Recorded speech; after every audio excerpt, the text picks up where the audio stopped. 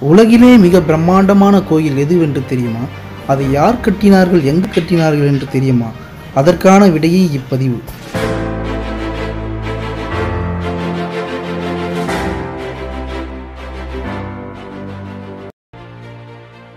Angkor Wat கோயில்தான் அது.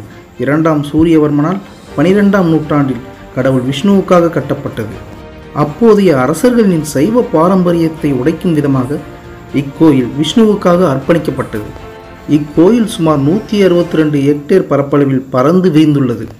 தரைப்பகுதியிலிருந்து ஆயிரம் அடி மேலே சென்றால்தான் இக்கோயிலை முழுமையாக பார்க்க முடியும்.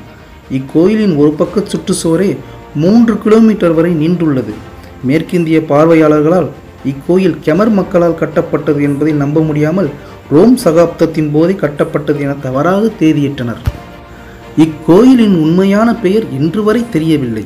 இரண்டாம் சூரியவர்மனின் மறைவுக்கு பிறகே இக்கோயில் முழுமையடைந்துள்ளது. சூரியவர்மன் மறைந்து இருபத்தேழு ஆண்டுகளுக்கு பிறகே அங்கோரை கமரின் பரம்பரை எதிரிகளான சப்பாக்கள் கைப்பற்றினார்கள். பின்னர் புதிய அரசர் ஜெயவர்மனின் ஆட்சி தொடங்கியது. பதிமூன்றாம் நூற்றாண்டின் போது அங்கோர் வாட் இந்து மத கோயிலிலிருந்து தேராவத புத்த மத பயன்பாட்டுக்காக இன்று வரை பயன்படுத்தப்பட்டு வருகிறது. பதினாறாம் நூற்றாண்டின் தொடக்கத்தில் இக்கோயில் சிதைவடைய தொடங்கியது. அடர்ந்த வனப்பகுதியில் இக்கோயில் இருந்ததால் யார் கண்ணிலும் படாமல் பராமரிப்பின்றி அழியத் தொடங்கியது. ஆயிரத்தி ஐநூற்றி எண்பத்தி ஆறாம் ஆண்டு ஆண்டனியோ டி மேடலின் என்ற போர்ச்சுகீசிய துறவியின் கண்ணில் பட்டது. இக்கோயிலை அவர் இப்படிப்பட்ட ஒரு பிரம்மாண்டமான கோயிலையும் அதன் கட்டிட அமைப்பையும் என் பேனாவால் விவரிக்க இயலாது என்று கூறினார். என்று என்ற பிரெஞ்சு எழுத்தாளர் இக்கோயிலை பற்றி எழுதியவுடன் தான் உலகறிய தெரிந்தது. இக்கோவில் கடவுளின் இருப்பிடமாக கருதப்படும் மேருமலையினை குறிக்கிறது. மத்திய கோபுரங்கள் மேருமலையின் ஐந்து சிகரங்களை குறிக்கின்றது.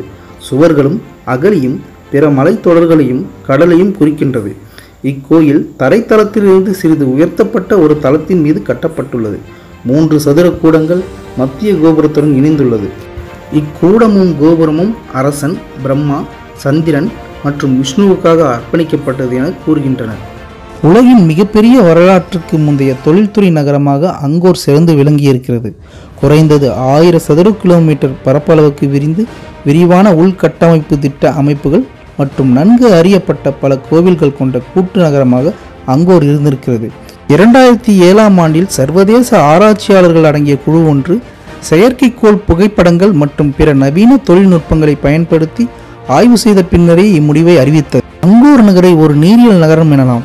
ஏனெனில் இந்நகரம் முழுவதற்கும் ஒரு சிக்கலான நீர் மேலாண்மை வலையமைப்பின் மூலமாக தண்ணீரானது முறையாக நிலைப்படுத்தப்பட்டு சேமிக்கப்பட்டு பின்னர் பகிர்ந்தளிக்கப்பட்டுள்ளது.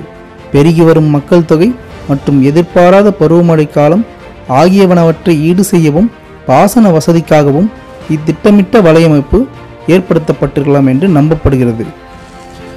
குவாத்தமாலாவில் இருந்த மாயன் நகரம் அங்கோர் நகருக்கு போட்டி நகரமாக விளங்கியது. நூறு முதல் நூற்றி ஐம்பது சதுர கிலோமீட்டர் பரப்பளவு கொண்ட நகரமாக இந்நகரம் இருந்திருக்கலாம் என்று கருதப்படுகிறது. அங்கோர் நகரின் மொத்த பரப்பளவு மற்றும் மக்கள் தொகை குறித்த ஆராய்ச்சிகளும் விவாதங்களும் தொடர்ந்து நடந்து கொண்டிருந்தாலும் சமீபத்தில் கண்டறியப்பட்ட புதிய விவசாய திட்டங்கள் அங்கோர் நகரில் ஒரு மில்லியன் மக்கள் வாழ்ந்திருக்கலாம் என்று தெரிவிக்கின்றன. பக்தியும் கலையும் கொண்ட இரண்டாம் சூரியவர்மனின் கீர்த்திகளுடன் இப்பதிவில் பயணித்த அன்பு நெஞ்சங்களுக்கு நன்றி. மேலும் இது போன்ற பதிவுகளுக்கு சப்ஸ்கிரைப் செய்து என்னை ஊக்கப்படுத்தவும்.